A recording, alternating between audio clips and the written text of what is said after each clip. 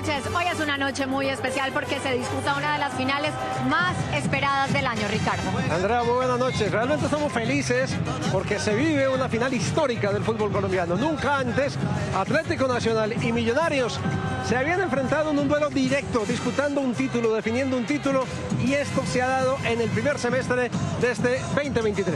La fiesta arrancó desde la... Por local, que es el cuadro Atlético Nacional, frente al mejor visitante de la temporada, que es el equipo de los Millonarios. Encontrémonos en nuestra sección deportiva. Mientras tanto, aquí están las tres noticias que mueven la agenda informativa. Andrea, Joana, tiene la palabra día de fiesta y cómo no, Richie, si acabamos a vivir una de las finales más importantes de los últimos años, del último tiempo, mejor dicho.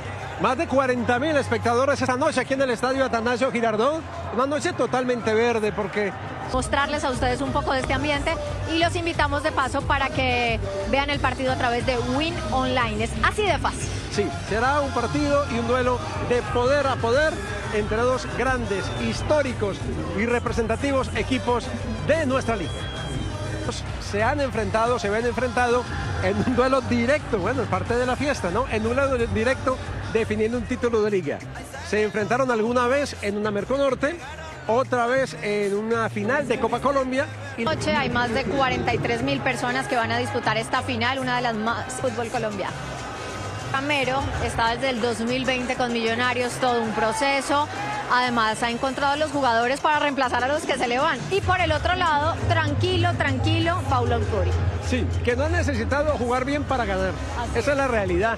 Y creo que él lo sabe, él es consciente y ha defendido eso, ¿no? El estilo que hasta ahora ha podido encontrar en el cuadro Atlético Nacional. Un estilo que además es respaldado por los buenos resultados. Bueno, Richie, una pausa. ¿Le toca a usted? Vamos a hacer una pausa desde el estadio Atanasio Girardo. Ustedes no se muevan, no se muevan. Ya regresamos con más información de esta finalísima del fútbol colombiano. Volvemos. Fuertes medidas de seguridad, Andrea. Yo creo que tendríamos que pensar en el buen comportamiento del público. Así es, y hacemos un llamado a la tolerancia, al respeto, a la no violencia, porque esto al final, Richie, es un deporte. Le voy a decir algo, como la tierra llama, pues saludemos a Shirley Salazar. Sí, Shirley Salazar en el Estadio El Campín, porque no solo estamos pensando en esta final, sino en la final de regreso, en el, en el, juego de regreso, en el juego de vuelta, el próximo sábado en el Estadio El Campín. Shirley. Hola, ¿qué tal? Pues en Bogotá también gracias. Invitamos sobre todo a la no violencia, sobre todo Richie en los alrededores del estadio. Sí. Porque a Medellín vino mucha gente de Bogotá y pasará lo mismo en Bogotá, mucha gente de Medellín. Sí, sí, sí, y que se juegue en medio de la... Estamos en plena vuelta a Colombia. A ver, y ganó... Y ganó el mismo. El mismo. El mismo. Bueno, Richie, se acerca la hora. ¿Ya nos vamos? Sí. Tres equipos y dos grandes hinchadas. Insisto, no hay favoritos para el juego de esta noche. Es más, ¿sabes qué dicen las casas de apuestas? ¿Qué? Que todo se podría... Agradecemos a Win Sports por esta posibilidad de estar acá desde la cancha y los invitamos a que vayan ya. Win Sports Online, Win Online. Ahí ustedes pueden ver el partido y no se pierden nada de esta fiesta que va a estar espectacular. ¿Saben qué? Sí.